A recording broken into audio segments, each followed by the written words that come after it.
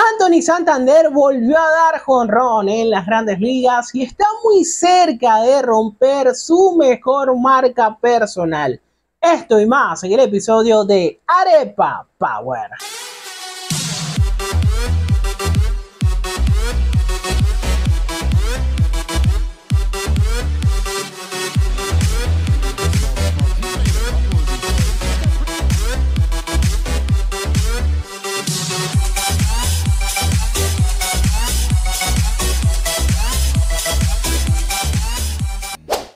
Gusto como siempre saludarles, soy Albert Piña. Anthony Santander comenzó agosto como a él le gusta, al batear un jonrón. El venezolano sacudió un tremendo tablazo este jueves en el partido entre Orioles de Baltimore y Guardianes de Cleveland en el Progressive Field. Santander castigó un sinker de 90.8 millas por hora de Ben Liver en el cuarto episodio con la cuenta 0 bolas y un strike. La pelota salió de su bate a una velocidad de 111.2 millas por hora para producir un cuadrangular de 416 pies por todo el jardín derecho.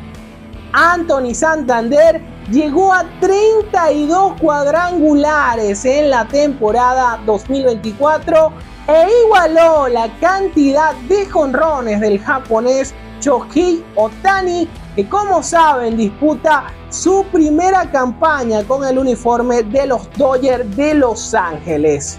Anthony Santander también se acerca a Aaron Judge, jugador de los Yankees de Nueva York, quien comanda el departamento de vuelas cercas en todas las grandes ligas con 39 estacazos. El margariteño criado en Portuguesa logró su sexto jonrón contra Cleveland en su carrera y el segundo en el Progressive Field.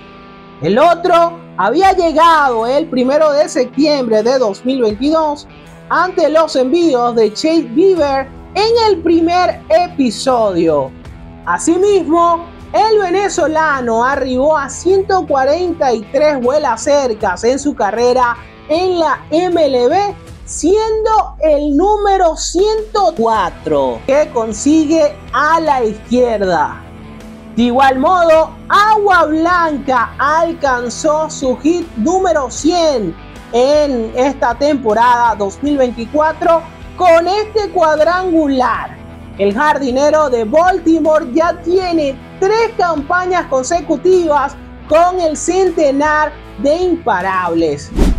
Anthony Santander quedó a un jonrón de igualar su mejor marca personal que implantó en la campaña 2022 al conectar 33 tablazos. Y es que luego de su participación en el Juego de Estrellas, el venezolano ya registra 8 vuelas cerca y los que faltan en esta temporada 2024. Esperamos que siga rindiendo con el madero el criollo y pueda alcanzar al menos 40 jonrones. Seguimos soñando que pueda alcanzar los 50 pero poco a poco. Primero se tiene que llegar a 40 para luego pensar en 50. ¿Qué tal te ha parecido la actuación de Anthony Santander luego de su actuación en el All Star Game de la MLB? Déjamelo saber en la caja de comentarios. Si te gustó el video, te invito